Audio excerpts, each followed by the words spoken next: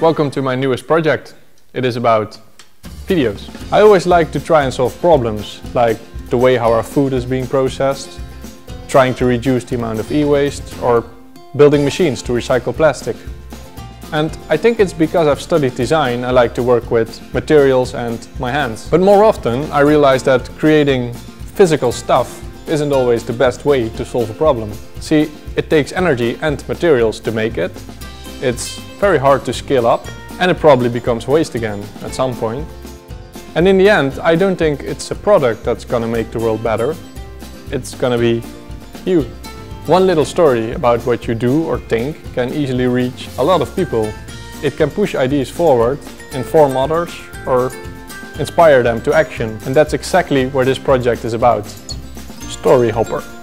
It's a collection of stories that I gathered over the last year, compressed into a tiny YouTube video. But not every story or everything I do makes sense to share. So that's why these are my stories worth sharing. Of all the things I've done, these are the ones I feel deserve a video and be shared. It can be a theory I've been thinking about, something I've learned, something I've done, or just an idea. We made a website where you can watch, rate and discuss them. Sorry for my weird accent, but normaal spreek ik Nederlands. And Thomas made a nice jingle.